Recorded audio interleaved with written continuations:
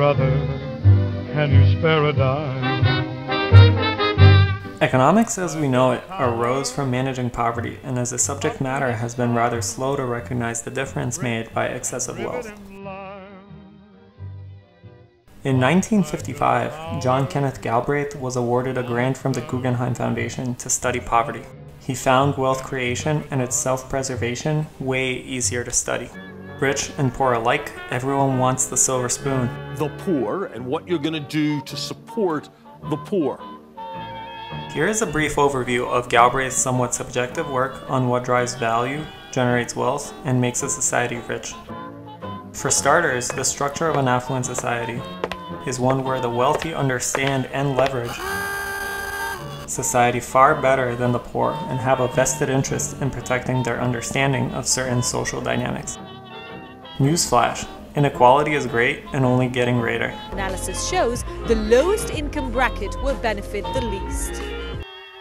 Galbraith blames psychological bias for poverty, saying how individuals associate truth with convenience by avoiding awkward efforts. He claims the underprivileged seek satisfaction in knowing that more famous or credible people share their conclusions. Even to some of my hardcore fans. You can punch me in the face 8,000 times. Mm-hmm, would love to. Now, how many actual millionaires listen to that? The example of an affluent society in the book is early 20th century USA.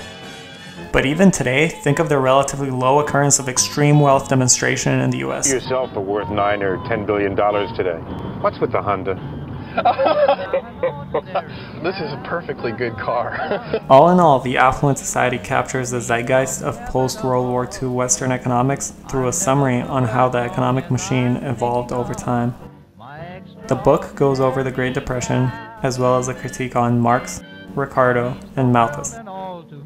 Since the book was originally published in 1958, aka the glory days of communism, Galbraith objects that socialism destroys ambition, discourages investment to create new jobs, and may well turn a nation of risk-taking entrepreneurs into a nation of wimps. Today's affluent society is one where luxuries overtook necessities through consumer demand. Once upon a time, more production meant more houses for the homeless, more food for the hungry, and more clothing for the cold.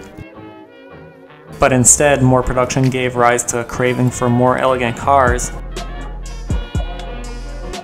more exotic food, yes, and more erotic clothing.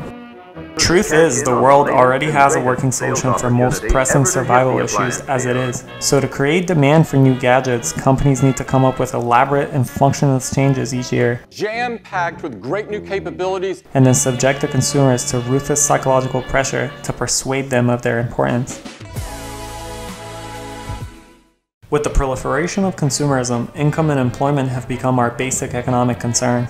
Recessions raise fears of unemployment rather than lost output. Indeed, when people are unemployed, society does not miss the goods they do not produce. Jobs, jobs, good paying jobs. But the unemployed do miss the income they no longer earn. And when the majority is employed, affluence becomes scalable. One of the oldest and most effective tricks up the affluent sleeve is to assert that all work, physical, mental, artistic, or managerial, is essentially the same.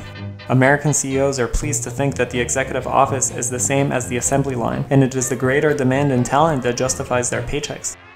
In other parts of the world too, the communist administrator considers his labor the same as the comrade out on the farm, with whom they share a common ideology.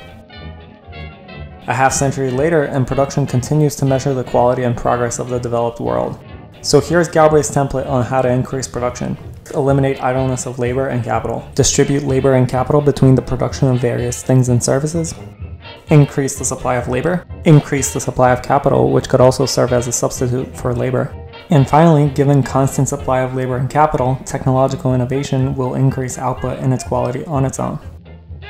Some more of Galbraith's 20th century idealism is his call to attack monopolies, lower tariffs, and promote competition and the free movement of labor and capital.